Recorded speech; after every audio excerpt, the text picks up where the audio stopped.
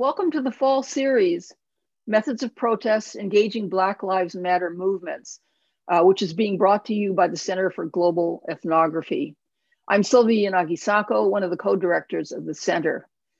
In these, uh, in this series of live and pre-recorded conversations, we're bringing together scholars, activists, and artists from Australia, Italy, and the San Francisco Bay Area to focus on Black Lives Matter both within and beyond the borders of the United States. Our aim in this series is to broaden our understanding of Black Lives Matter movements in different areas of the world and to think collectively about how ethnographers can study Black Lives Matter abroad and in the United States by reflecting on both methods of protest and the ethnographic methods employed to study them. Today's event, Black Lives Matter in Italy, a conversation with Camilla Hawthorne, Torin Jones, and, and Angelica Pesarini, is the first in our series. We would like to thank the Europe Center and the Department of Anthropology at Stanford for co-sponsoring this event, which focuses on the histories, geographies, and social and cultural processes that have shaped unique forms of Blackness, anti-Black violence, and Black Lives Matter in Italy. We're very fortunate to have as our panelists three scholars who have extensive knowledge of the history of race, colonialism, and Blackness in Italy, and each of whom has conducted ethnographic research on race in Italy.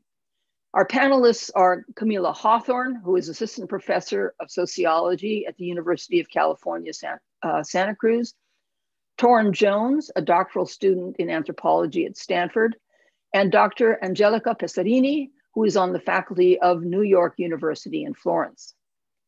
Before we continue, let me remind everyone that this event is being recorded and will be available on our website.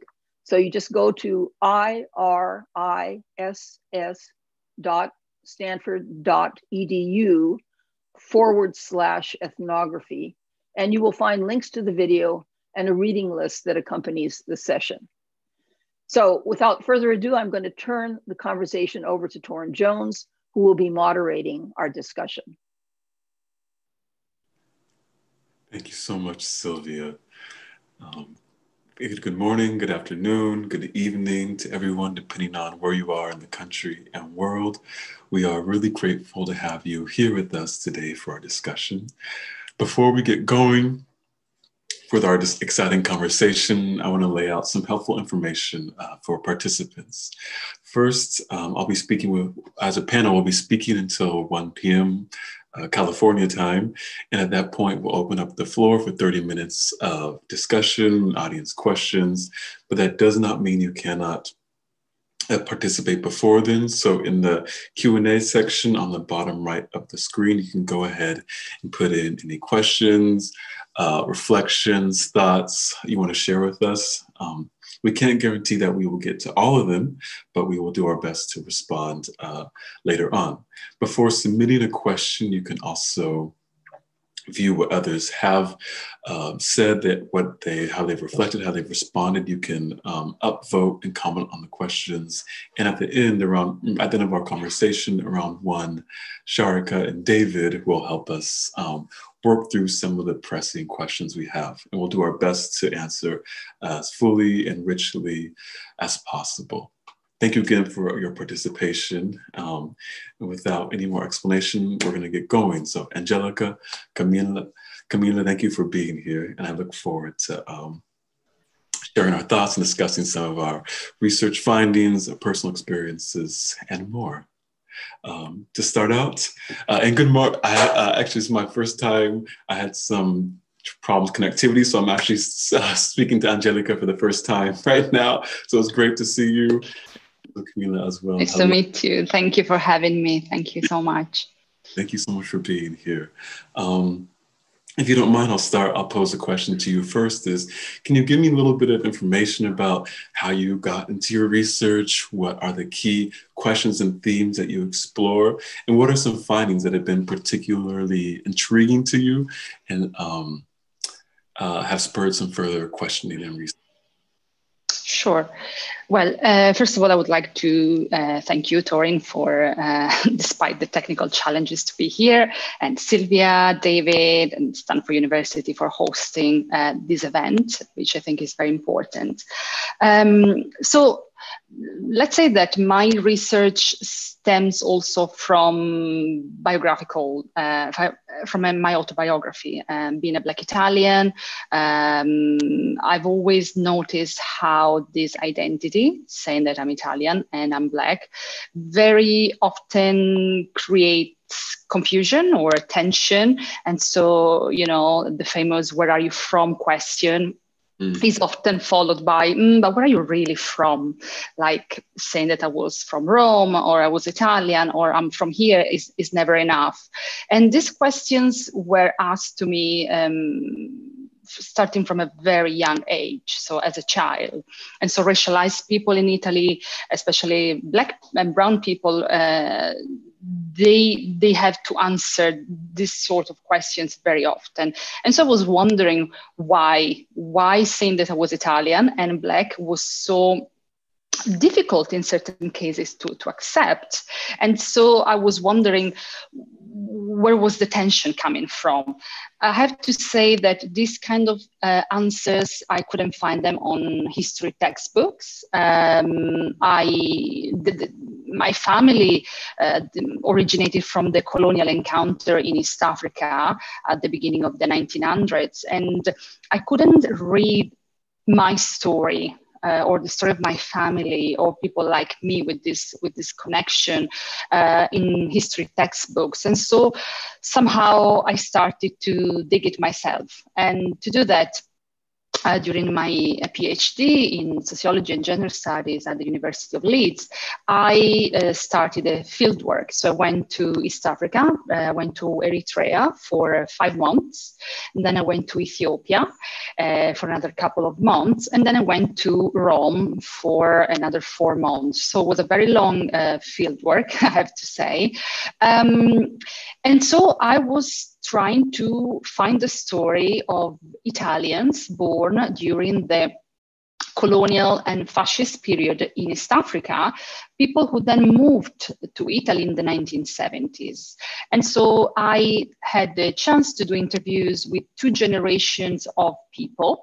So the first generation were respondents born between the beginning of the um, colonization in Eritrea, so around 1890 until 1935. So this was my first uh, sample of respondents. And then my second um, sample was those born after and, and those who experienced the racial laws and those who actually migrated to Italy in the 1970s.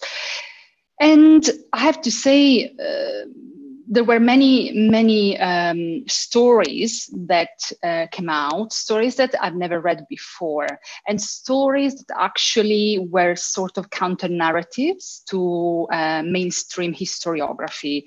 Uh, when you study colonialism in Italy, um, very often, uh, especially, for example, in high school, um, if you have a paragraph on Italian colonialism, uh, you are lucky. um, even when you do um, modern history or contemporary history at the university level, uh, to find, to have an exam on Italian colonialism, very often you need to take a course on the history of Africa. Because if you take contemporary Italian history, you don't have an exam on Italian colonialism. So this already tells you a lot about the amnesia and the removal uh, and the underestimation that there is in general about uh, Italian colonialism.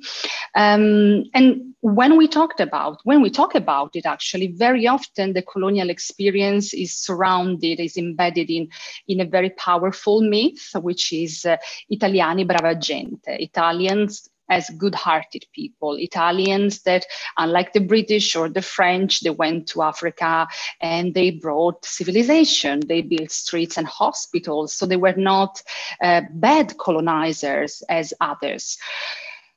This obviously is this romanticized vision of Italian colonialism is, uh, first of all, not simply wrong because it was a colonial, um, it was a colonial project. So as every colonial project was extremely violent, even if shorter, uh, Italians um, committed a lot of crimes in Libya, Eritrea, uh, Ethiopia, and Somalia. In fact, at the end of the war in 1945, Ethiopia released a list of uh, Italian war criminals that uh, they wanted to see going to, to trial. The problem is that in Italy, we never had the Nuremberg processes. So mm, we didn't see public punishment of the fascist criminals. Uh, actually, it's quite the contrary. After the end of the war, those who were fascist yesterday, and that in 1943 they switched side, they were given very important powers. Mm? So uh, there is there is a lot of um, amnesia in a way, but also this, as I said, kind of underestimation of the colonial uh, past. My respondents, uh, they were telling me when they came to Italy in the 1970s, especially those who were born in, in the former colonies from an Italian father, let's say, from people who uh, have like someone who had an Italian surname who was speaking Italian. Uh, so they were coming to Italy with with a big uh, cultural Italian capital. When they come uh, to Italy in the 1970s, they don't exist. People ask them, but where is Eritrea? Where is Somalia? Uh, why do you speak Italian so well? So the same question that we're asked today, they were asked in the 1970s to these people who actually had a very uh, strong connection and ties with, with Italy. And if we think about what's happening now in the Mediterranean, oh, there is another connection. Many people coming are actually from Eritrea and East Africa. And they also come with having in mind the sort of connection, some ties that in Italy don't exist in the sense that are not taught about. So the findings of my research, I would say, were mm, kind of digging this hidden histories. So bro- bringing to light hidden histories that really counterbalance the um, mainstream historiography about Italian colonialism, um, histories that were telling us about the crimes and the violence perpetrated, for example, on mixed race children, Italian mixed race children, and uh, the negotiations of identity. How, what, what, did it mean to be Black and Italian in a certain historical period where marked also by racial laws, for example? Yeah.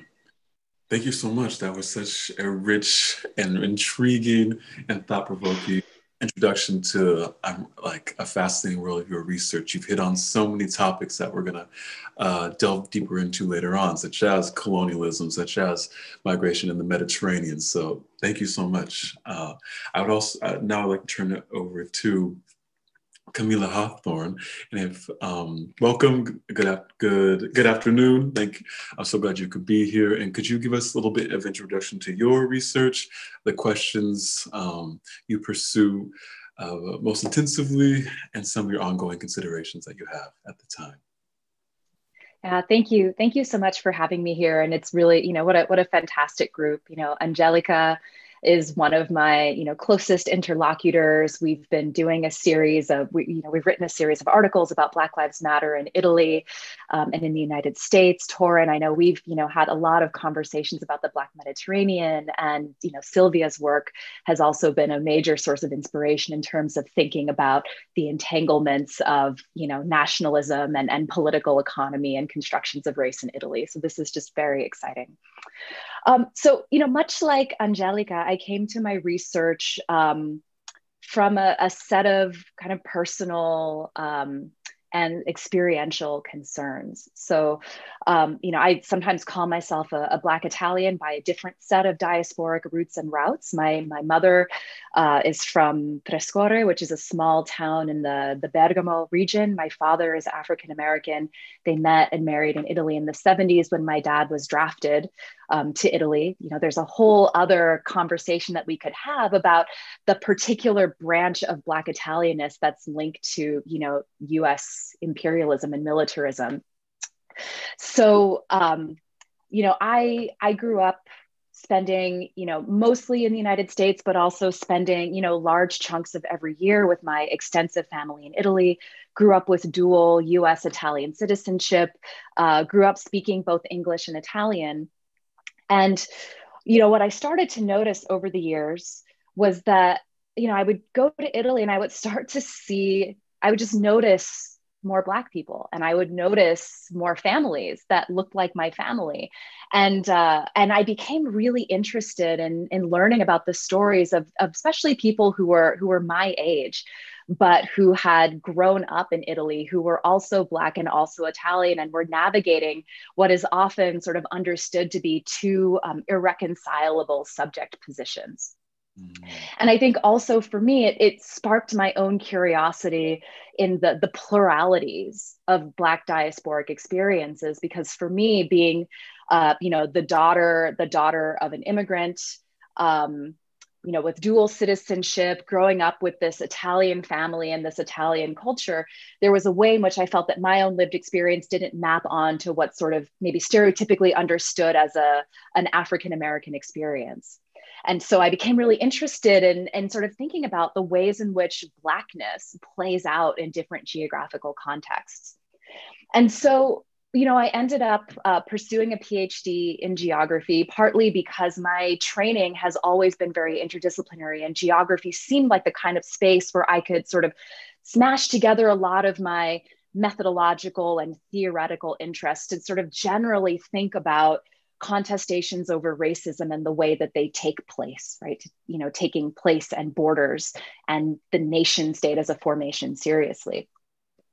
So when I went to Italy for my first summer of pre-dissertation research, um, that's really when I started to learn about the movement for reform of Italian citizenship law. So, you know, we'll, I'm sure we'll talk about this more, but Italian citizenship is conferred on the basis of blood rather than birthplace, like the United States, which has meant that there's, you know, a, a whole generation, you know, estimates put it between 600 to 900,000 youth of color who are the children of immigrants who are disenfranchised.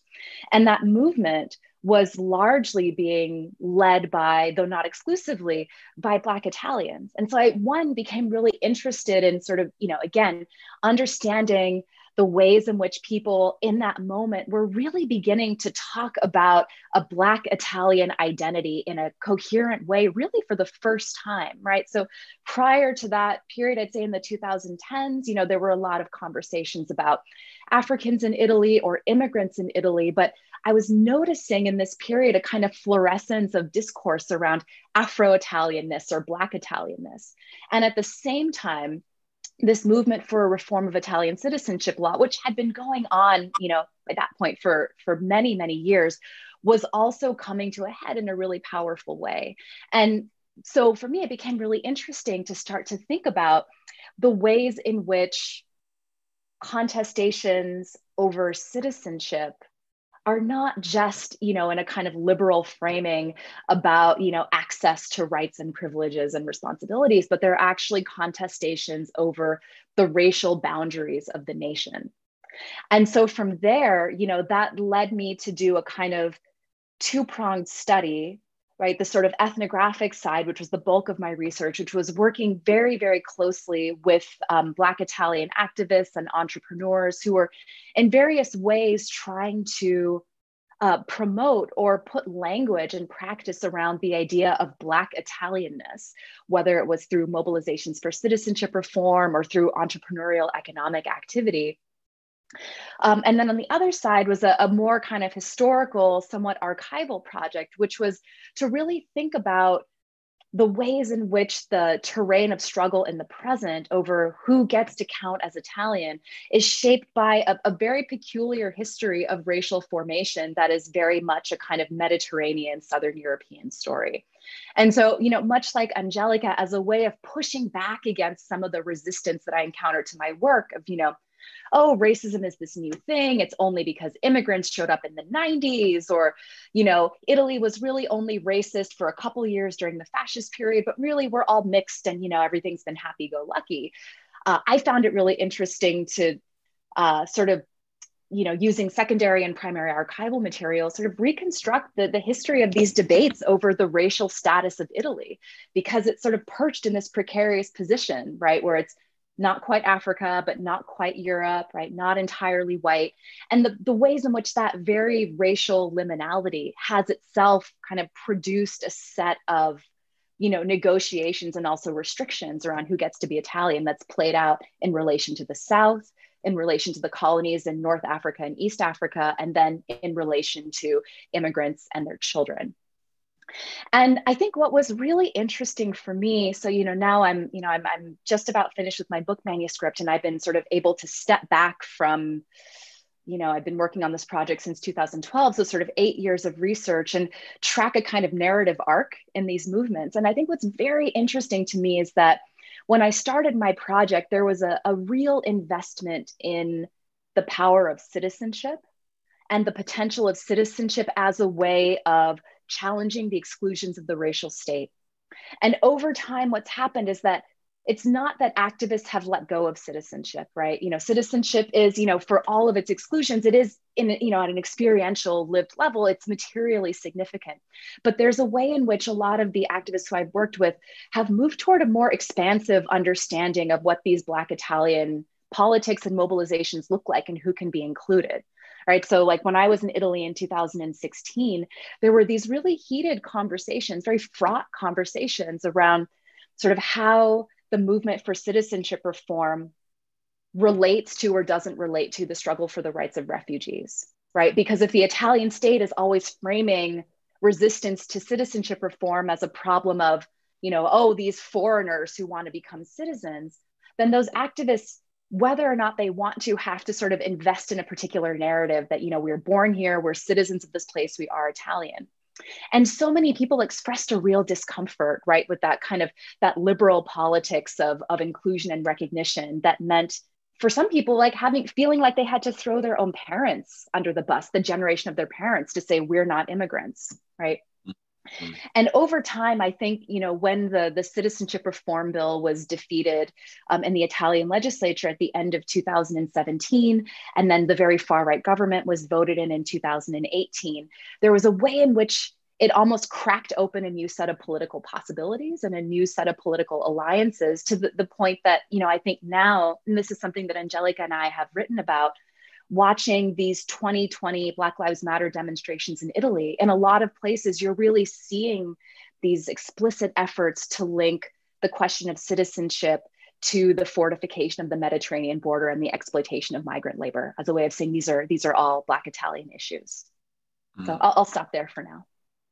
Thank you so much. What, what I love is that we have kind of Angelica giving us uh, a really deep dive into the colonial histories, the racial legacies that carry forward, and you're giving us a really uh, deep dive into the contemporary politics and how they, of course, overlap in terms of Angelica, Angelica's research, your interest. We have a really broad, I think, temporal and spatial spectrum to deal with as we consider uh, race making and the politics of Blackness and BLM in Italy. So thank you so much for sharing that. And of course, thank you for being here. It's a pleasure to see you.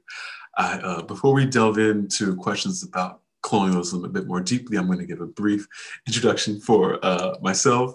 I'm currently finishing up my dissertation at Stanford in the anthropology department.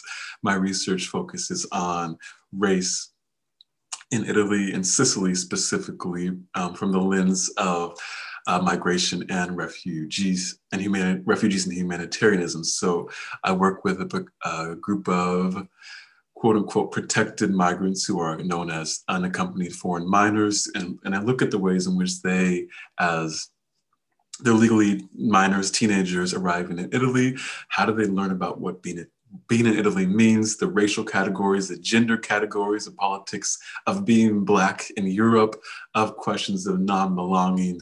And so I'm, I'm trying to understand kind of the really deeply emotional, mental, uh, psychic community processes that are taken up by these relatively young uh, young, most primarily men uh, in their first time in a European space. And so I think there are interesting resonances with both uh, Angelica, Angelica's questions and your questions. But uh, and what what kind of has gripped me the most is that I was raised in the U.S., where races, where discourses around race are not always fun and fruitful, but have been prolific for a long time. And so working with a group of people who are for their in their first time encountering whites, uh, predom- a predominantly white society, has been one fascinating because I had to learn that so many things that I took for granted about racial knowledge, about interaction across race, about just how race worked, I got to watch people learn this and figure out what it meant. And part of it is just profoundly heartbreaking. I mean, a lot of it is not happy stuff. But at the same time, I get to really understand that race and understandings of race at the interpersonal, at the emotional, at the deeply affective levels are not set in stone. They're up for they're up for change, they're up for debate, they are highly fluid. And so watching these challenges are fascinating. And what I find also to some of Camilla's points is that people do, young, young people do, young Black people, young migrants, young Africans stay very up to date on Italian, Italian politics. They know what's going on at the legislature, at the legislative level. They see the discourse nationally, and this has a deep impact on what they believe is possible and impossible in Italy and Europe beyond that. And so, one, I'm excited to speak to you both, and I'm, I'm really excited about the ways that our research both differs and overlaps uh, in pretty profound ways.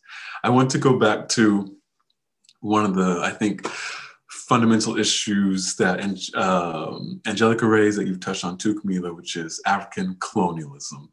So we have East Africa, but we also have North Africa that I notice tends to follow up with the frame a little more when we speak of Italian colonialism. We know that there were kind of, there was mass uh, violence, mass murder, I would say, by the Italian state in both North and East Africa, and a really intense uh, colonial period. One thing I hear is that from Italians is that, oh, it wasn't as long, it wasn't like other European colonial practices.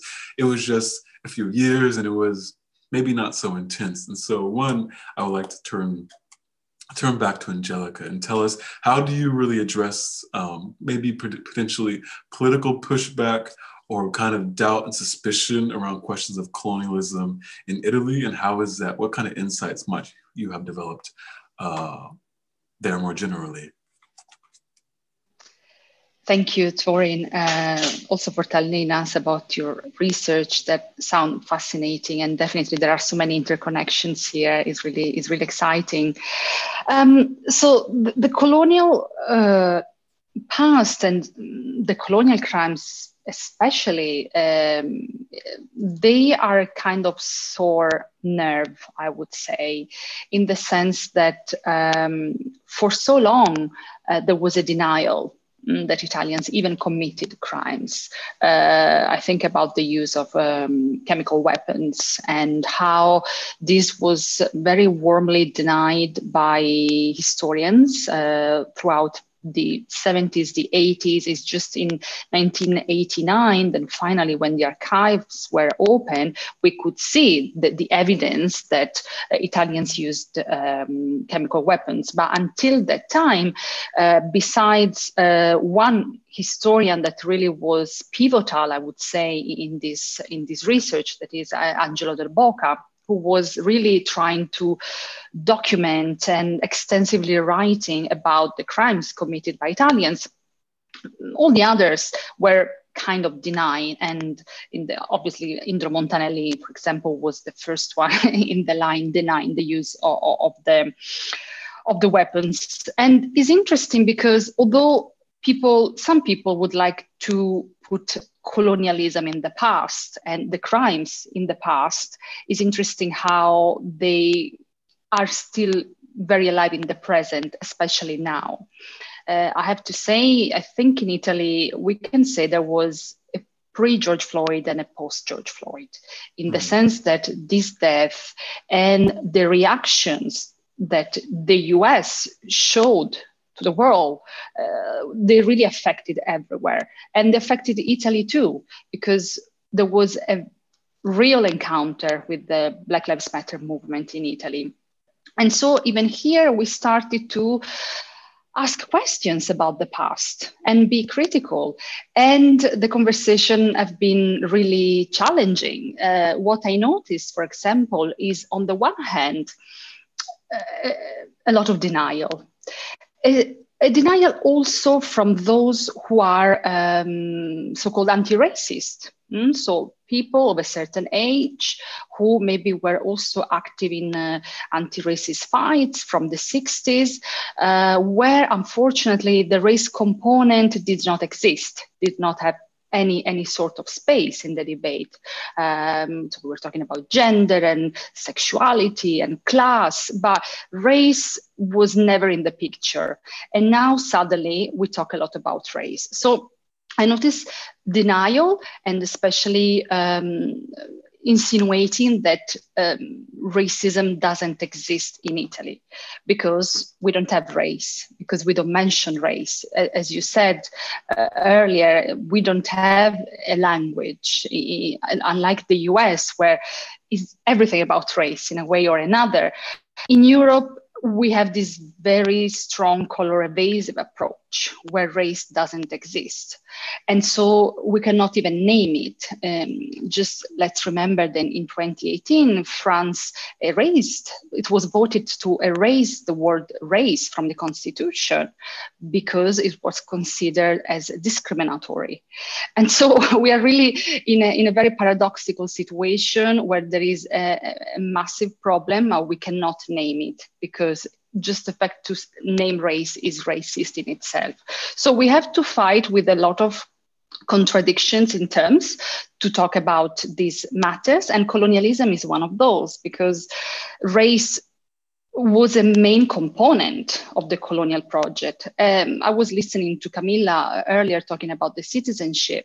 And if something really connects our work is citizenship, because this idea of blood and citizenship is something that in Italy have been discussed forever, in the sense that already in 1909, in the colonies, uh, the Italian government had to think about Italian citizenship for mixed race kids born in the colonies. So there were a lot of brown kids born from Italian fathers, and uh, they could be recognized as Italians if the if the father was recognizing them, and so they were Italians uh, like no doubt. But if they were not recognized, these kids could get Italian citizenship by showing their Italianness.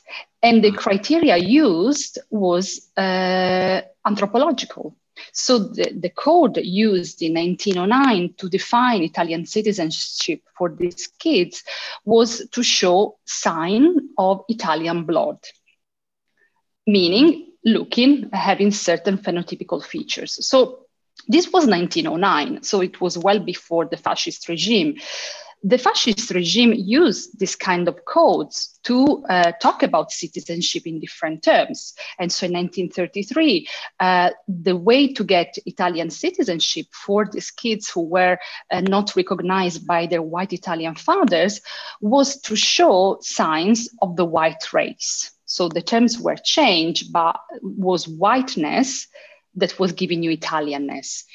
Mm. And in 2018, the governor of uh, the Lombardy region, Attilio Fontana, 80 years after the establishment of the racial laws in 1938, 80 years later, he said that uh, talking about refugees, we cannot take them all, otherwise, our white race mm-hmm. is going to be erased. So you can see it's really a circle here. Uh, and so it's interesting to see how race is really at the core of Italian society. And uh, still, we really struggle to, to talk about it. Yeah. Thank you so much for sharing that. I that resonates so much with so much with a lot of what I found in that uh, Oh, I'll give an anecdote. One time I was in a meeting for migrants about, about how to properly legally uh, administer kind of care and psychological care in migrant centers. And it was led by uh, uh, one of my friends actually who was born in Senegal and has had since maybe decades ago married an Italian woman is, is an Italian citizen. And he was leading the meeting in Italian and at and he was kind of throwing in some Sicilian dialect into the things that he was saying. And someone stops the meeting and says, "Oh my God, it's as if uh, he's he speaks just like an Italian." And he says, "I am an Italian." and so it's just these moments of like clearly racialized. Um, citizenship bound citizenship and belonging boundary making i can i I see how they one have been so deeply established in the colonial period and how, like you mentioned, they just keep replaying and recurring in different manifestations today. I would like to ask um, Camilla, you also turned to the question of uh, uh, colonialism and its legacies today. Do you have any reflections either to what um, Angelica just gave us, kind of the rich historical narrative and its relationship to the present, or any of your own unique findings that uh, are really uh, either pertinent or intriguing to you? Yeah, thank you so much. Yeah, I mean the colonial period is really is very important for the story that I'm telling as well. And as Angelica said, you know, citizenship is one of the themes that really connects our work. Uh, you can't talk about contestations over citizenship in contemporary Italy without taking the colonial past really seriously. And as Angelica pointed out, particularly with the case of the 1909 laws, it's important to remember that. Um, colonialism as well as the racial theorizations and racial laws that undergirded colonialism that's also a that's not just a fascist story but it's a liberal story right? That goes to the heart of the italian nation making process itself. And if anything i think one of the things that um, and you know i think that both Torin and angelica both of you have alluded to this what makes italy a, a really provocative place to do this kind of research about the entanglements of race and nation and citizenship is you know the one the relatively late nation formation in italy uh, the, the questions of kind of racial ambiguity or liminality because of this, you know, the, the question of Mediterraneanness, as well as the fact that, you know, national unification was happening almost contemporaneously with colonial expansion. And so post-colonial theory tells us right that you know the that the the you know europe is formed relationally with its colonies and italy sort of takes that to a make creates a kind of limit case of that where we see that you know taken to its most extreme end that literally the formation of the nation state and the consolidations or contestations over italian whiteness are happening in relation to the process of colonial expansion you know one of the things that i've that i found really fascinating as well you know especially when thinking about the the differences between northern and east african colonialism you know and this is not at all to minimize the the horrific the genocidal violence right especially in libya. But that we see these racial theories about you know, varying degrees of southernness also playing out in relation to the colonies. And so what's interesting for me is to track the way in which that dividing line between, um, let's say, Europeanness and Africanness or um, Italianness and its others is always being negotiated in relation to different Souths, right? So you have the internal line, North and Southern Italy, then you have, you know, the Mediterranean, right? So the Italian peninsula and then the African continent, but even within the African continent as well. And so, you know, even with Libya, right, there was a sense, particularly um, with the fascist government, that there was more of a civilizational connection to Libya via the Roman Empire than there was to the Horn of Africa. And so, because of that, there was even a gradated system of citizenship, right, between um, Italians in Libya, Libyans in Libya, um, and then, you know, um, uh, East Africans from the Horn of Africa, that there were actually there was actually gradated access to citizenship that was based on sort of the the civilizational, racial, anthropological distance from Italianness, from Romanness. You know, when when the Roman Empire becomes a kind of important cipher for these sort of revanchist um, as- colonial aspirations.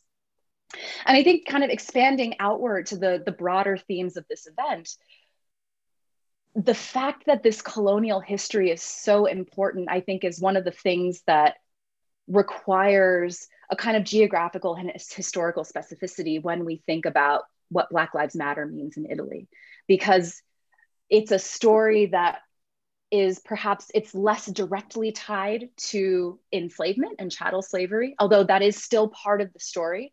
And it's it's much more directly a kind of trans-mediterranean colonial story and so, you know, one of the ways that I like to think about this is that I think in the United States, sometimes when we're talking about Black struggles, there's often a way in which, both in terms of disciplinary formation in academia, but also in the way that uh, kind of liberal politics divides up the work of social movements that you know combating racism right that's a black issue and dealing with border fortification right that's a latinx issue and dealing with settler colonialism is a is a native issue and in italy all of those things are collapsed onto each other, right? Because, you know, Black folk who were former colonial subjects are crossing borders and encountering the racism of the immigration and citizenship apparatus. And so it's a, I think it actually provides a really important reminder, even in the United States, when it's slightly easier to pull these things apart, that actually we have to understand the formation of national borders and struggles over citizenship and anti-Black racism and colonialism is all really connected in terms of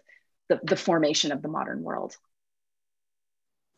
Thank you. Thank you so much. One, you've given us, thank you for tying it back to questions of contemporary Black Lives Matters and also pointing out some key uh, legacies. You've offered us a perfect segue into our next topic, which is how do we think about the Mediterranean and all of this? And so I actually, um, well, what I want to respond, just one thing you said briefly, which is the question of the South. Where is the Italian South? And it's, uh, I think you point out perfectly that there are many Souths, and a point also I think Gramsci also made as well.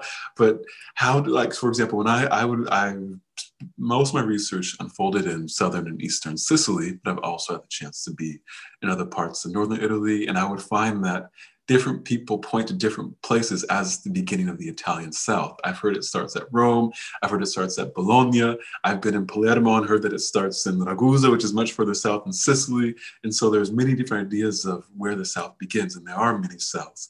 And I also had a funny funny, problematic, intriguing experience of having different parts of Sicily be referred to me as like L'Africa. This is Africa is there. It's really hot there. It's humid. That's Africa. And just but people always pointing further south because they clearly did not want to be called Africa, but they could always point to other Italians that were for them uh, representative of maybe for potentially too far south. And so this question of many Souths and racialization and nation formation are, as you said, just so deeply tied together that it's it doesn't parse out in the same ways as we might think in the US. Um, but could I follow that up with you telling us a little, little bit about what you've done, or questions and research you've done around the Black Mediterranean and some of both the, the political and kind of geographic struggles you've um, looked into? Camilla, sorry. oh, I'm sorry. Would, should Angel- are we going in the same order or should I just? I only I turned the Mediterranean to you because you published a pretty important piece called the Black Mediterranean, and so that's why I turned to you. But we can also go to Angelica. It's open either way. Would, uh, do you want to go first, Angelica? Okay yes uh, sure uh, although yes uh, obviously i really uh, camilla's work on the black mediterranean for me was really was really important to conceptualize a bit this idea that i think mm, is now um, so important. However, to think about the Black Mediterranean, again, for me, I thought about the past. Uh, so I really try to see how the past is really the connections with this past cannot be uh, cut off so easily. And so, talking about uh, what you guys were saying about the mini South, uh, I, am always fascinated reading the testimonies of the of the Italian patriots who from the north arrive, uh, arrived to, to the south, to, to Napoli and Palermo, that were incredibly buzzing cities, uh, much more advanced on, on, on certain levels. And especially, I remember Luigi Farini, who writes in his diaries, this is not Italy, this is Africa. And it's really interesting how they see uh, the patriots coming from the north, see the south as something alien and something different. Uh, I've been to Sicily for a few weeks uh, this summer, and uh, you, you notice how, in a way, you, you may understand, Sicily was an emirate. Um, for some time. There is a unique architectural style in Sicily, the Arabo Normanno, that is unique in the world. You cannot see it anywhere else. And so the South was different. However, I find fascinating how um, the South was whitened by the fascist regime in order to find the new other. Uh, when I was doing my PhD, I was lucky because there were a number of publications that came out and they were really uh, pivotal. Uh, I think about uh, Il Bianco e il Nero, for example, by Gaia Giuliani Cristina Lombardi Diop. That publication for me was really important because especially um, Gaia's work was really showing this whitening, uh, this whitening project. So how the South was whitened to uh, in order to um, go to Africa and to find the, the, the, real blacks. We have to say, uh, obviously, how difficult it was for Italians to be seen as white, first of all when they go, we know when we go, uh, when they go to Ellis Island, when they go to Louisiana picking strawberries, they live with blacks, they live in the same neighborhood, they do the same job, uh, they are lynched. Uh, one of the biggest mass lynching involved Italians. So um, there was a discrimination, but I think how, uh, and here the, another great book um, by Jennifer Guglielmo, Are Italians White? They, they show us the difference between race and color because they were socially black, but at some, at some point in history, they become white. And so this process of whitening, I think, is really crucial. And uh, Mussolini managed to use the Mediterranean, really the Mediterranean category, to whiten the country and to finally have our place in the sun. And Italians become white in opposition to Africans. So it's always in opposition to something. The present is really interesting because uh, if you think about um, the work of um, Lega, Lega was a party that was called Lega Nord, Northern League, precisely because the idea was to separate the efficient North from the lazy South. And then Salvini arrives and he does something incredibly smart. He removed the word North and so Lega become Lega for everyone. And this is an absolutely winning strategy because now Lega is one of the most voted party in the South, in Calabria, for example, in Sicily. That's and so you to- notice how Salvini, like Mussolini in a way, whitened this country in opposition to whom? To African migrants coming from the Mediterranean.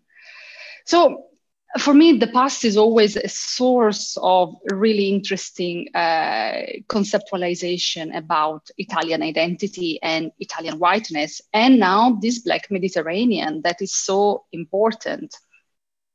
Thank you. Thank you. I think um, one, I really appreciate that you put on the current electoral politics and the deep pretty relatively explicit racism they're in regarding North, South, whiteness, blackness, migrants. Uh, we're definitely going to delve into that more deeply in the next section. Uh, before then, I want to ask one, could you? I noticed we had a question regarding, um, you mentioned lynchings, Italian lynchings in the US. You're referring to the ones that occurred in Louisiana, is that correct? The state of Louisiana. There's been a, there was a very famous book written about it. The name has escaped me, but I, um, I know there was a question there. If you have any more information, uh, please share it now, or I can follow up later uh, on that Q&A. Also, I, um, that said, I would like to turn to Camilla. What information or what findings, what thoughts, and actually what really kind of galvanized you to think critically uh, about the cultural, geog- political, cultural geographies of the Mediterranean and how have you um, how does that really continue to inform your work and how you think about contemporary struggles around race in, uh, in, in Italy? Yeah, thank you. So, you know, I started thinking critically about the Mediterranean because I was finding that there were ways in which Mediterraneanness was being used, particularly by white leftists, as a way of making a set of claims about how race does or doesn't work in Italy. And so, you know, I was, you know, often encountering, you know, uh, discourses of um, racial ambig, you know, histories of Italian racial ambiguity, uh, southernness, of you know Mediterranean mixedness, right? You know, we're you know how can we be racist? We're not even really white. You know, Italy is a crossroads of civilization. That I found were were you know really papering over and often being used to delegitimate claims about anti-black racism in the present. And yet at the same time, you know as a you know someone who's trained as a geographer i do you know I, I, like believe in taking space and place really seriously. And so for me i started really grappling with this question of the mediterranean as a way of thinking you know, how do we both understand what is specific about these histories of racial formation and racial capitalism in the mediterranean but without also reifying a kind of italian exceptionalism right? And this is um, just as a as a shout out, this is also something that um, our colleague Ilaria Giglioli does in her work as well, but thinking specifically about the connections between Sicily and Tunisia and the political uses of, of Mediterraneanism. So, you know, inspired by, you know, a lot of work that, that came before, I came to the Black Mediterranean as a way of thinking about the specificities of, of Black life and Black struggles in the Mediterranean and all the ways that they don't always map super neatly onto a kind of Black Atlantic story right mm. because there is a way in which you know scholars in the field of black european studies will sometimes refer to this as african american hegemony i'm not sure if that's necessarily a term i agree with but you know it is undeniable that the Black American experience does sort of, it is a kind of center of gravity in terms of conversations about global Blackness. And there's often a kind of assumption that what is a, a set of Black American experiences um, can stand in for the plurality of Blacknesses around the world right? And so you know what happens when we move to a place like italy where you know the majority of black people uh, are not the descendants of enslaved people have not come to italy via a transatlantic journey although you know some have you know in the other direction from from latin america with afro latinx italians but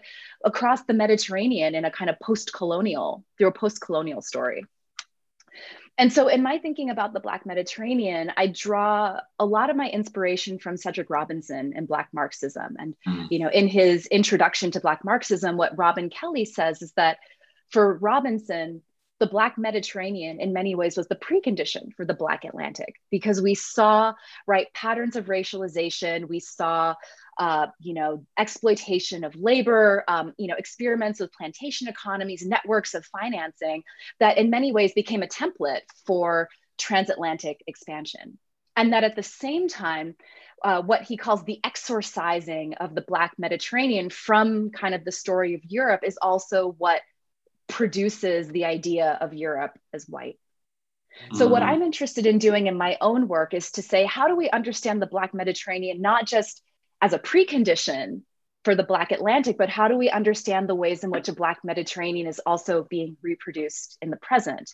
And how do we do that in a way where we're not simply reading it as the kind of afterlife of transatlantic slavery, right? How do we how do we take seriously those specificities while also understanding that you know racial racial formation and the circulation of racial ideologies is also a global process so you know while there were a, a, set of debates that were very specific to italian national formation and, and colonialism that you know some of italy's most premier liberal racial theorists like lombroso also had influence on the other side of the atlantic too Mm. But mm. the last thing I'll say is that in addition to using the Black Atlantic as an analytical category, I also like to think of it as a political demand as well. So, as a political category as well.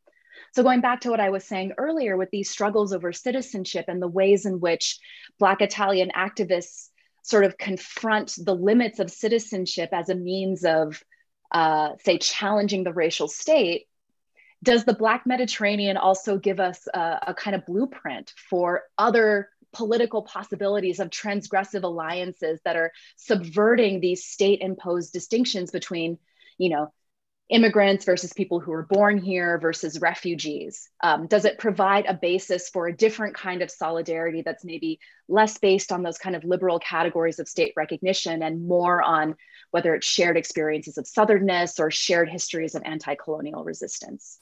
Mm, thank you. That resonates with me so deeply. My research is on is in uh, is in coastal Sicily, and so I'm constantly thinking about the Mediterranean because it's outside my window. But one of the things that's been kind of that has really haunted me is the fact that the Mediterranean has been and continues to be a space in which Italy has experimented with expanding borders, constricting borders, and genocidal violence. And so I want to keep in mind that um, one thing to keep in mind is that Italy experimented with concentration camps in North Africa. It continues to, well, Frontex and the European Union border control and Italy specifically, they continue to experiment with ways, one, to sometimes save migrants and sometimes in very flagrant ways let them die uh, in the sea. And so we have the Mediterranean as a site of African death being uh, with not consistent but happening in multiple time periods. At the same time, we have people who are crossing this this semi porous border-ish space into Italy who are acting these border crossers would be what I call very transgressive in this sense. And so one thing I really struggle to weigh with the question of the Mediterranean is how is it all a site of um, uh, agent of action where people subvert kind of state policies. Italy, I, I what I consider Italy, Italy funds uh, racist state violence in Libya under the guise of anti-trafficking is what I say. And so I think I really struggle to understand how do we think of the Mediterranean as a place of both uh, mobility, transgressive mobility, migrant arrivals, but also hold that grapple with the weight of ongoing African death in this space. And so that's something I really try to think about in both. Uh, and I think that's where the question of Black Lives Matter really speaks to me is in Sicily, there are struggles for getting food in migrant centers, getting healthcare in migrant centers, getting toothpaste in migrant centers. And in these spaces, I think, yeah, there are struggles for these, there are protests um, and the questions of the question of Black Lives Matters has been very, I think, material and about kind of basic needs in life and death. Uh, itself. And so that's what that really speaks to me. That's how that kind of conversation really speaks to me. I wanted to ask, um, just as we're about to move into our question answer section, I wanted to ask if, um, first uh, for Angelica, if there are any kind of political, Camilla has given us a lot of background about the, the profound political movements that have been uh, going on in Italy, whether it's for citizenship, belonging, uh, expanding the idea of who is Italian and who isn't. Are there any political concerns, political issues in this current moment about BLM or more broadly that are really on your radar in terms of Blackness and race in Italy? Well, um, mm, you know, as I was saying earlier, I noticed that there was this pre George Floyd and post George Floyd. And one of the uh, outcomes of the post George Floyd um, is that in Italy now racism is under strict uh, is, is is looked upon. We talk much more about racism and uh, racist uh, crimes. Mm, you know, we had recently uh, the murder of a 21 year old uh, young Italian uh, man, uh, William Monteiro Duarte, who was killed um, in, in, a brutal um, in a brutal um, crime out near Rome, uh, in, um, in, in a town near Rome, and so it was interesting to see the reactions to that story. Because I think if this would have happened before, probably we would have talked about it, but yes, would have been on the news for um, like a day and then it would have gone. Now that story was really catching a lot of attention, and you could see the frictions that the Black Lives Matter movement brought also here in Italy.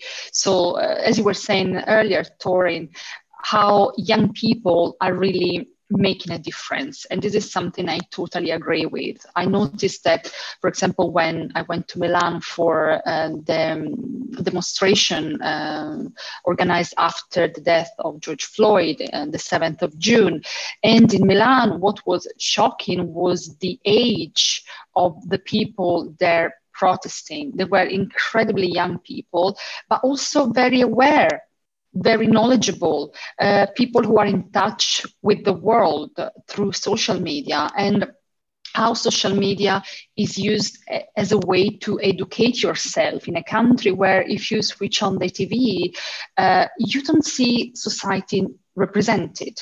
If you switch on TV, everyone is still white in Italy. We still have people doing blackface. Uh, we don't talk about race. Uh, and so I think how the social media in this context, they've been incredibly helpful. Um, and so it was interesting to see the reaction to that murder and how it's difficult to mention the word racism, uh, even when it's blatant in a way. So this specific story, without going into details, was a um, a number of a number of factors created this murder toxic, toxic masculinity, um, homophobia, um, uh, racism was one of these. However, there was a strong uh, reluctance to mention the word racism, while it was very easy to label the two suspected murders as fascist. Mm. So I mm. found that was really interesting because they were labeled as fascist and they were not fascists they were not even politically active these two people but it was easier to say they were fascists rather than say they were racist because this implies that actually we need to talk about racism, that racism is not just the act of two men. Racism is something much more structural and systemic. And so I notice how the Black Lives Matter movement in Italy brought about real tension about this young Italy uh, that really wants to know about it, wants to create a better society, is fighting for social justice and mention race explicitly. And this kind of old school uh, white anti racism that is a bit obsolete now, is a bit inadequate, that doesn't want to uh, self reflect on themselves. So it's a really interesting period to see how anti-racism and where anti-racism uh, is going at, at, the moment. That's fascinating. The reference is called someone fascist rather than racist. That is, uh, I think there is interesting historical legacies there. Thank you for uh, sharing that. Camilla, can I turn to you? What is? Uh, I know you've, you've been very you've been very involved in contemporary political activism, in Italy. Can you tell us a little more about how that might dovetail with Black Lives Matters and what might be some interesting points of departure? Angelica's really put us, uh, raise our awareness of maybe the international overlap um, and attentiveness, as you have two questions of uh, George Floyd and others in the US. Kind of, could you share with us, share with us some more insights you have around that?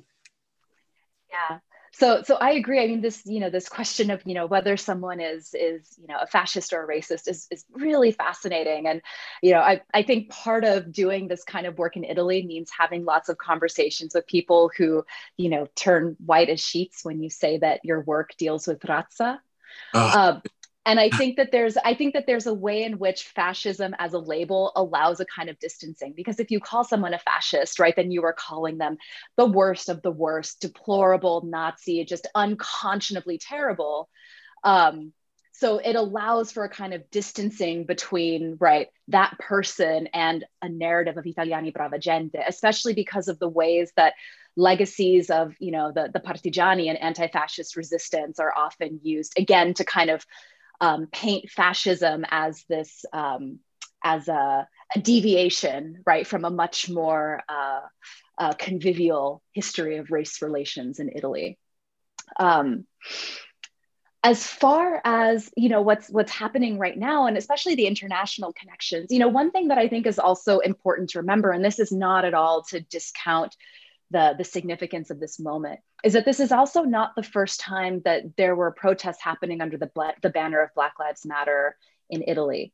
Um, and I, you know, I think back to 2000 and the summer of 2016, it was um, a summer, many journalists called it, you know, the summer that Black Lives Matter went global, where there were protests in Brazil and in London and in Amsterdam and in Paris and also in Italy that was the summer when Emmanuel Chidi Nnamdi was murdered. Emmanuel mm-hmm. Chidi Nnamdi was um, a Nigerian asylum seeker uh, who came to Italy with his partner.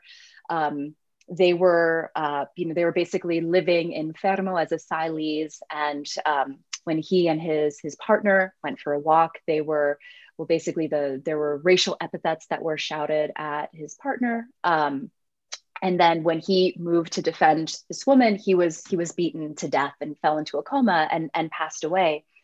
And again actually to go back to angelica's point the the difficulty that co- political commentators had in calling that an act of racism was um, was shocking and became for lack of a better word because i think part of being an ethnographer is taking these sort of brutally shocking moments and and rereading them as ethnographically useful anecdotes. I think it's a bit of a survival strategy when you're in the field. Um, mm-hmm.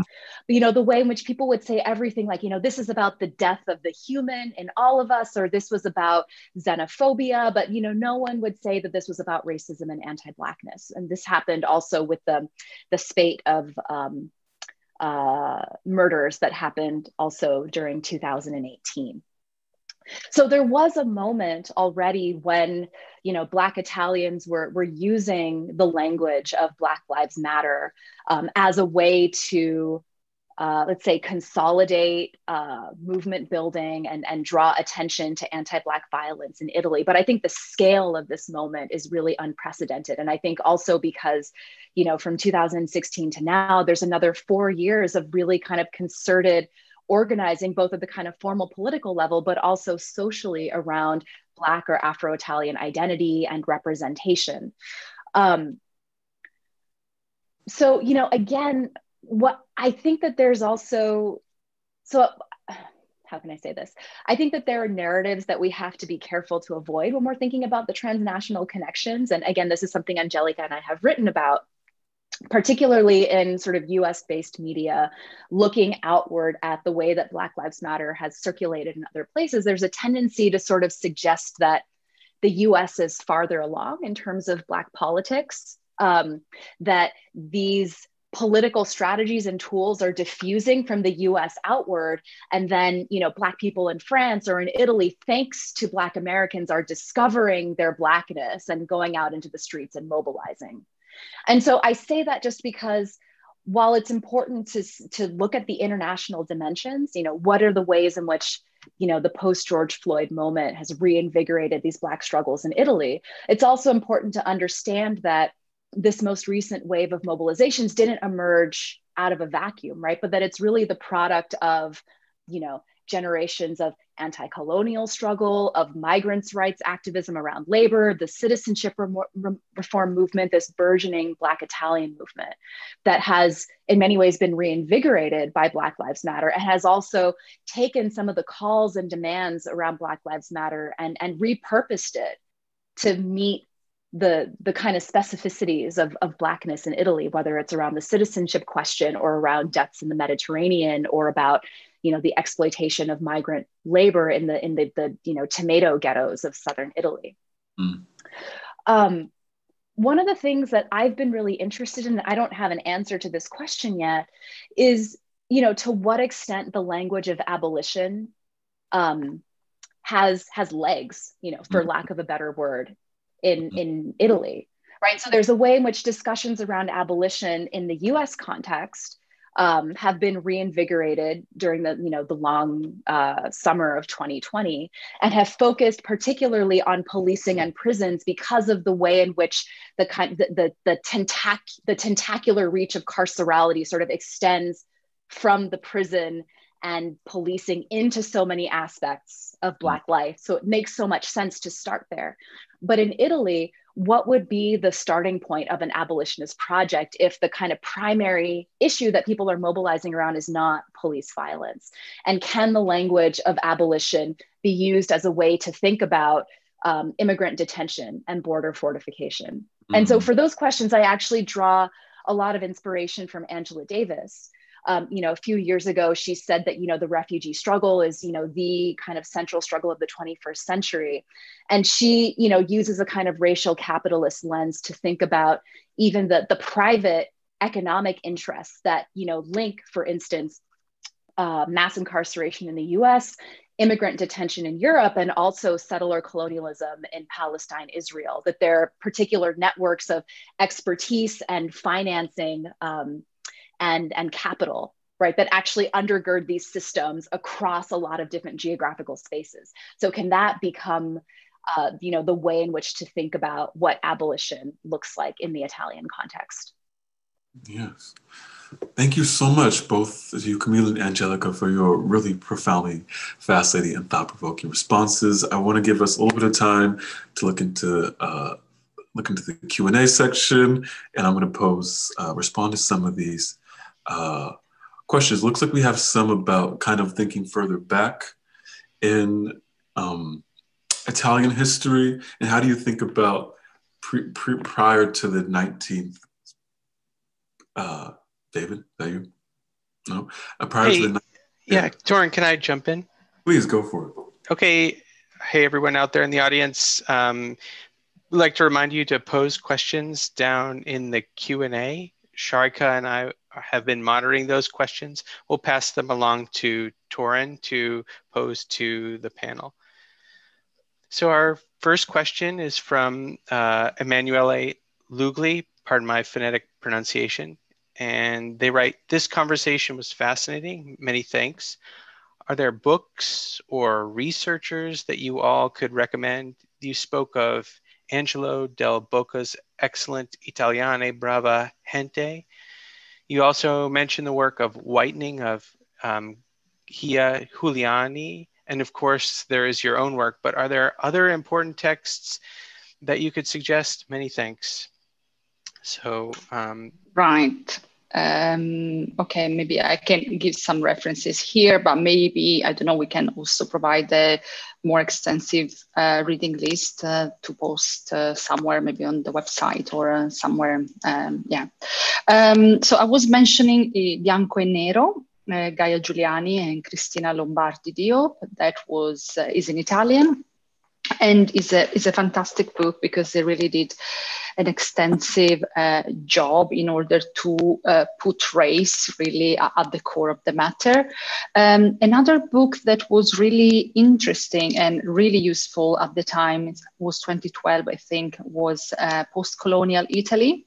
That was an edited collection of several essays, um, many actually short, but really uh, very diverse, talking about this post-colonial Italy. What, what, what, does it mean to say post-colonial Italy? So um, then there was another one, Parlare di razza, by Anna Scacchi and Tatiana Petrovich. That was also an incredible book. Uh, in terms of history, uh, obviously, there is a very long list we could give. Angelo Del Boca, as I mentioned, wrote extensively about it.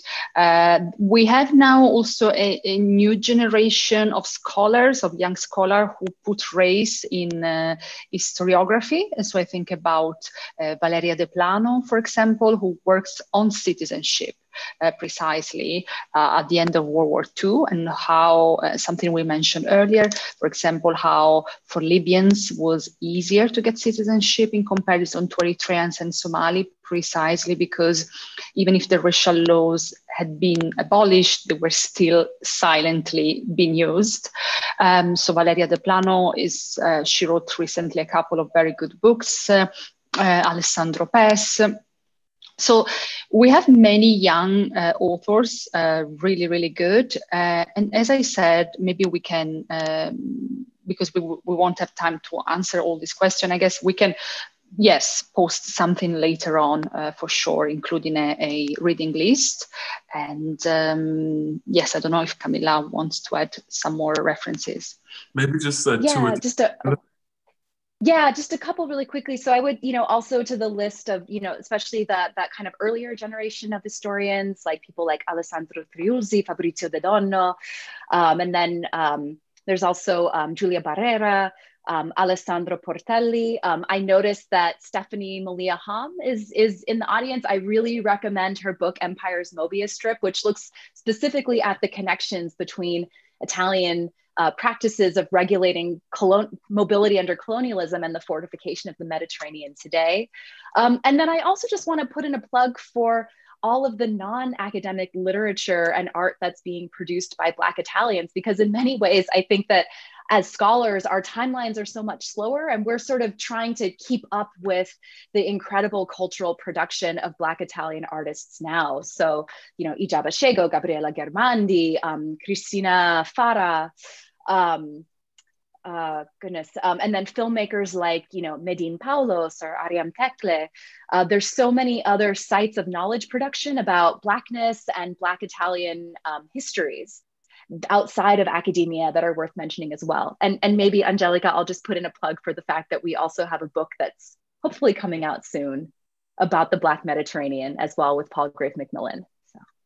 Awesome. Thank you so much. I would, to that list, I'll try to add things quickly. I would add Maurizio Albahari's uh, Crimes of Peace, which is about exactly about Italian monitoring of the Mediterranean border, which is, uh, I think, a really important read. Um, I would add Donald Carter's States of Grace because he does, I think, he does a really good job of trying to connect um, both West African social processes to racial policies developing in colonial East Africa and to migrants and their experiences in Italy. So, uh, in addition to all the other scholars we, and artists and writers we've heard, I would just add those two among many others. But thank you for that question.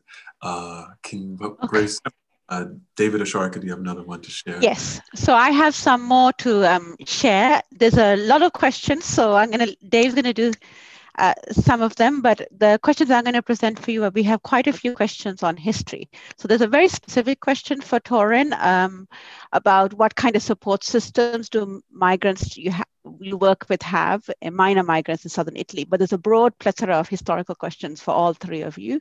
So Marsha Chalana asks, are historical examples of racially, ethnically mixed communities in what is now Italy relevant to current Black and non-white Italians?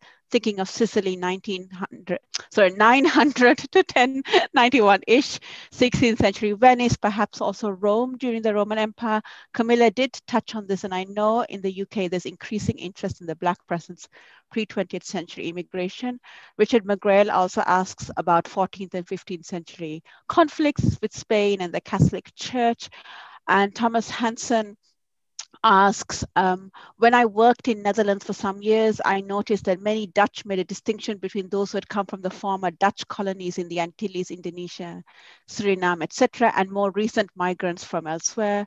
The former were often seen as more acceptable because they knew some Dutch and were part of our history often portrayed as gentle and mercantile, of course, as opposed to recent migrants from various parts of North Africa and sub-Saharan Africa who were seen as more difficult and more alien. Are there similar logics at work in Italy? And we also have an anonymous attendee who wanted, who wanted to ask about, if you have time, the largest mass lynching involving Italians, but I'm not entirely sure I can specify more than that. So if you have a chance. So these are kind of broad historical questions that I hope that we uh, can answer. Thank you so much. I will take up one minute and then pass it off to Camilla and Angelica, just in response to resources for unaccompanied foreign minors from Africa with whom I did research in Sicily. There's an answer to that question is different if you ask whether it was now or maybe pre 2018 when a pretty far, when a pretty, when a coalition of, I, I would say, far right populist nationalists uh, people were elected into office. And so originally uh, migrants were, young migrants were supposed to have psychologists, basic needs, education, and the tools they need to quote unquote integrate into Italian society.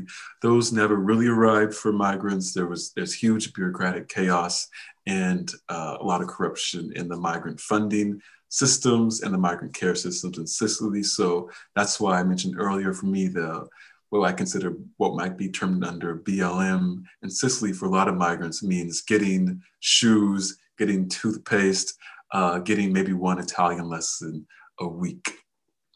Things have gotten worse since 2018 because primarily led by government. Well, the, the most famous figure in this would be Salvini has has campaigned successfully to decrease funding for many efforts to care for migrants, so their resources are few and far between at this moment.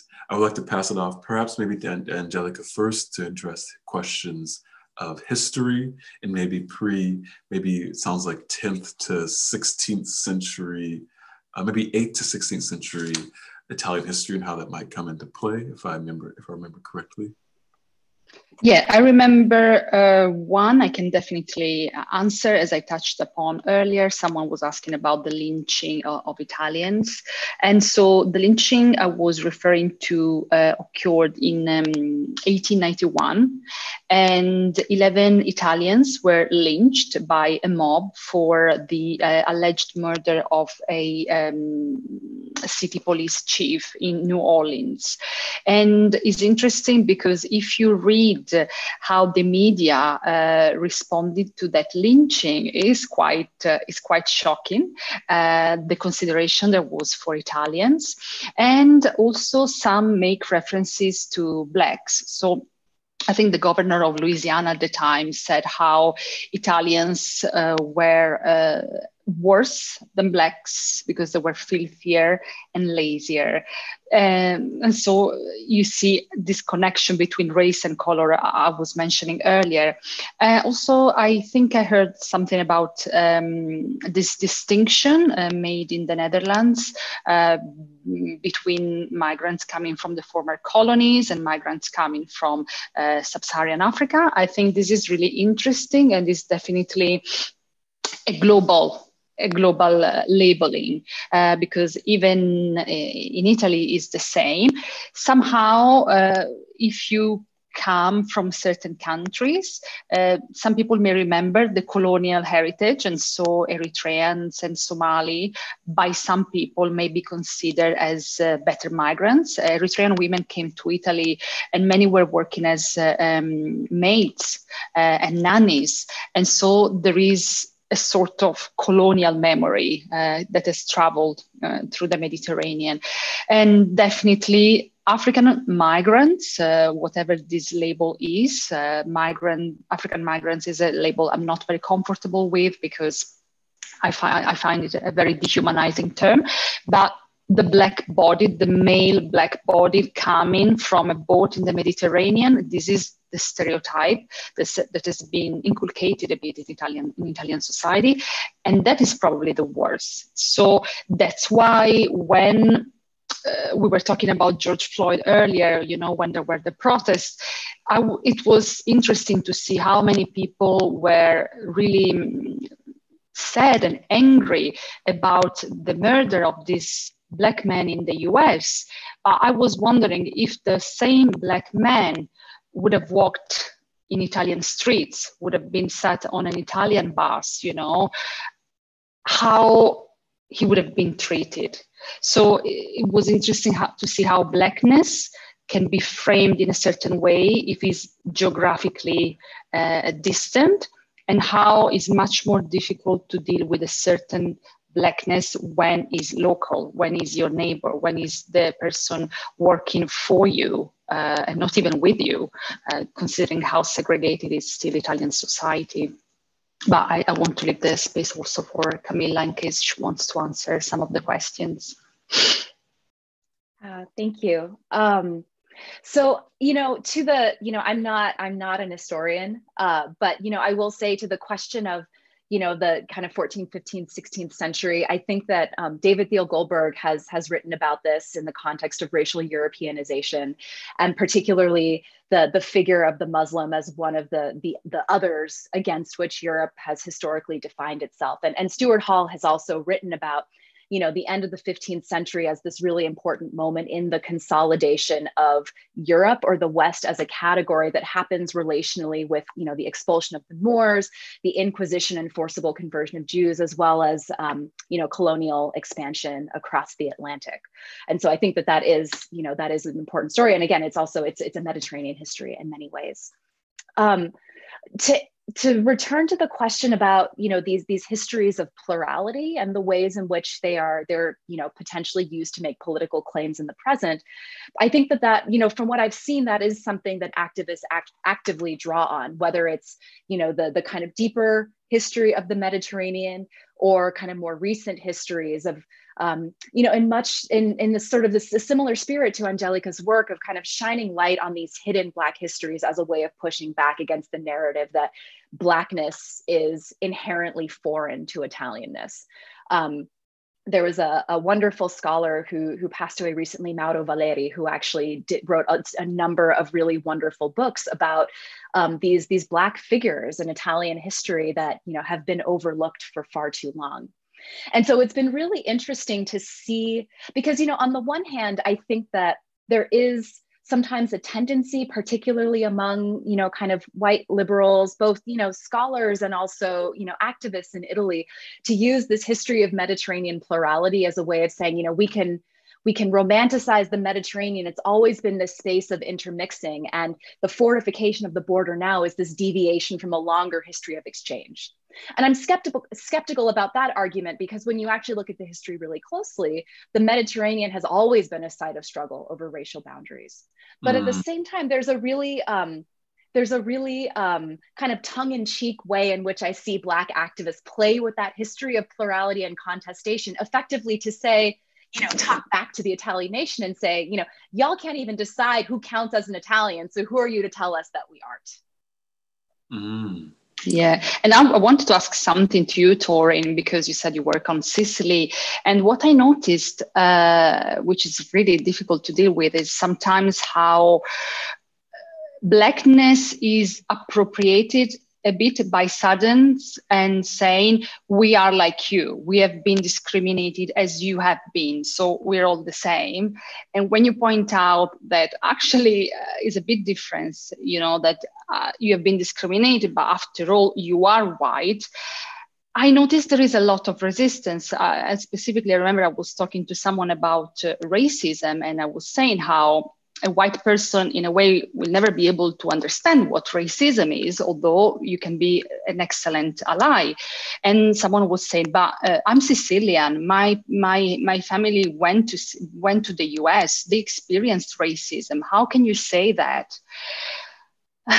And i found uh, that was very challenging to to explain and to talk mm. about so because you're working on in sicily on sicily i was wondering if you notice any any any sort of uh, similar um, yeah matters.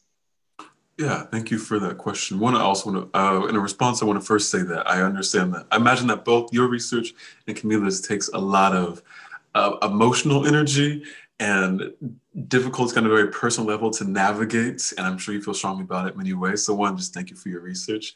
And then two yes it is it's inf- it's very i will say infuriating. I would say it's frustrating. One because um, having discussions around whiteness and blackness in sicily almost inevitably leads to the response well siamo arabi. We're all arabs so we can't be racist. But i've seen you like one person might turn around to me and say, "Oh, that migrant is rude to me, but Africans don't respect women. African men don't respect women," and I would say, "Well, that's a problematic statement." And they say, "Well, we're I'm Arab, so it can't be." And so I found it to be a really interesting kind of intellectual block, discursive block to deeper conversations about race, because one, there isn't a willingness to acknowledge that uh, you can be non-white and still be racist, or that you can be also white and non-white at the same time, depending, depending on your context. So those conversations were spot on, I think, or challenging in a way described it precisely in that Sicilian whiteness, Italian whiteness has always been a question, and especially Sicilian whiteness, although they have become much more white, they don't fit into kind of predominant understandings of what it means to be a white European. And so discussing racism there is a challenge because you first have to get find a way to get past kind of the the discursive intellectual block of well we are not necessarily white we are african-ish by some standards. And so yes uh, i found it to be profoundly true and to be one thing that really hindered kind of interpersonal between migrants and oftentimes migrants and staff it really hindered their conversations around race um, what you just pointed out. So yeah thank you for that is it, um, I think, is there time for one more question or are we going to wrap up, uh, Sharika and David? Let's take, um, we're just at time. Let's take five more minutes and then we'll cut it off. We've had two questions about gender. Um, how does gender play into attitudes towards Black Italians? Are there specific ideas and values attached to Italian masculinity and femininity that enter into the discourses on race and Italianness? And also from Candice Whitney. They asked a question about public responses to murders. Um, and there's this question about African migrant women who go unnamed. Um, can you touch on these larger themes of how gender intersects with race in Italy? Thanks. And this will be our last question. Thank you so much, David. Do you mind if I throw that question to you first, Camilla? Uh, sure. And then I'll, I'll, say a few words, but then I'll throw it to Angelica because this is very central to her work. But you know, I think that there are there are different kinds of um, gendered understandings that are at play. Um, so you know, I think Angelica mentioned, and, and, you know, we saw this, for instance, with um, the response, particularly the 2015 refugee crisis, that there was a sort of in media representations, there was a bifurcation between um, you know what was seen as the syrian family that was to be pitied and cared for versus the single male african migrant that was a that was a source of danger.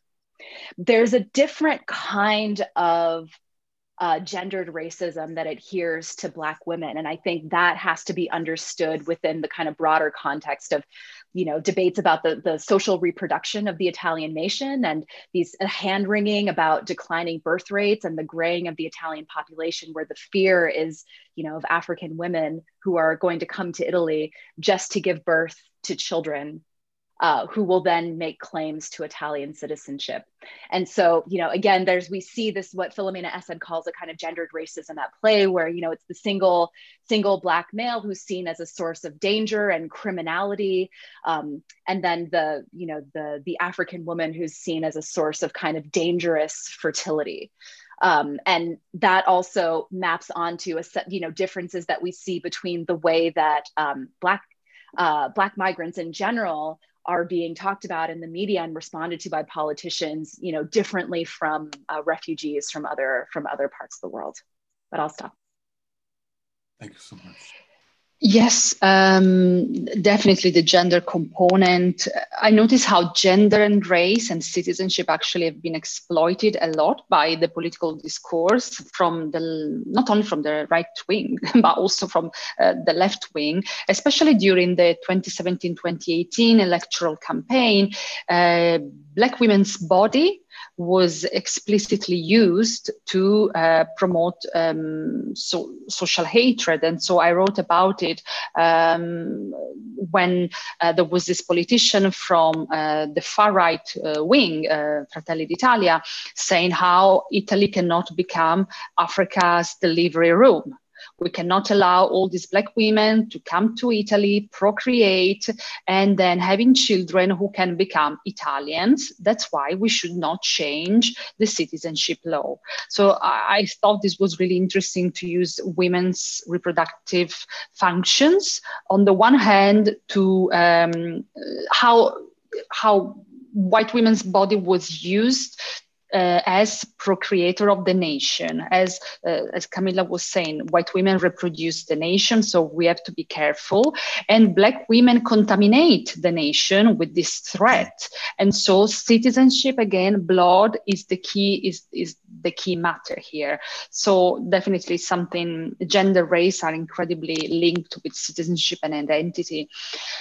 And uh, um, I don't know if we have time for another. There was another question, I think. Um, uh, I can't remember. Was about the reaction of, of the murders. I think. Yeah. Uh, yes, definitely. Is interesting to see to see some cases that made history in a way. Camilla was mentioning Emmanuel Chidi Namdi case that was talked a lot about it, but again, there was a lot of reluctance to name the word racist murder. Mm, again, the, the, the, the, who committed the crime was someone uh, close to uh, extreme right wing party. So again, he was labeled as a fascist. Race was not was not in the picture. Abba's murder in 2008 was uh, was really um, was another of those cases who made history. But again, in Milan, and Camilla probably I don't know if you were there at the time, but in Milan the reaction was really really strong and. Abba memory is uh, honored every year because the activists created association, uh, competition, contest named after Abba. Idy Diene, that was shocking. I was here, it was in Florence when it happened. And I have to say, it was um, really shameful the way the media talked about it and how also uh, the city reacted about it. There were anti-racist organizations who were uh, demonstrating in the streets, who uh, tried to remember Idy Diene's uh, memory. But the mayor of Florence got really angry when the Senegalese community uh, broke um, some uh, pottery in the city center. Um, Idy Diene was was not the first time that uh, that a black man was killed in Florence. Florence, unfortunately, has this history of killing black, of shooting black men And so uh, in 2001, it happened with uh, Gianluca Casseri, who killed three, uh, two men, Senegalese men, and Idy Diene was killed in the same way, passing on a bridge and shot by uh, Roberto Pirrone. And so when the community got angry, the mayor called them savages, violent. Florence cannot accept that. And so it was very frustrating to see again how race was really not in the picture.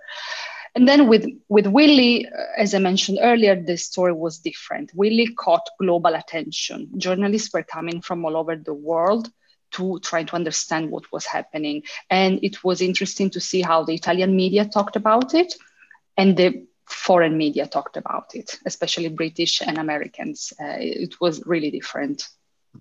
Okay, I'm so yeah. sorry because we have to sort of wrap up. That's yeah. all the time we have. And I just want to thank Camilla Hawthorne, Angelica Pesarini, and Torin Jones for a wonderful conversation. It was one of the most engaging webinars I've at least attended for very long. Thank you so much. And I think it's a measure of how wonderful the conversation was. That there's so many questions we didn't even get to answer about abolition and so on. But thank you. And I want to remind all the um, attendees that we'll update the reading list for the for the page so if you go to the events page for this, we will update the reading list on there. And I'd like to thank our event co-sponsors, the Europe Center and the Department of Anthropology at Stanford. And I want to remind you all that we have a, uh, our next event in this series, Black Lives Matter in Australia, a conversation with Professor Marcia Langton is going to be released. It's a pre-recorded video release and is available for viewing on October the 23rd. It's a very, very powerful powerful interview with Marcia Langton talking about the relationship of Black Lives Matter to um, Australian Torres Strait Islanders and Aboriginal communities and incarceration and custodial um, deaths in Australia. And for more information about that event and all of our events, including this event in the Methods of Protest series, you can visit iriss.stanford.edu forward slash ethnography. So thank you again for all our panelists and thank you for being here, all our attendees and asking such great questions and goodbye. Thank you. Thank you, everyone. Bye-bye.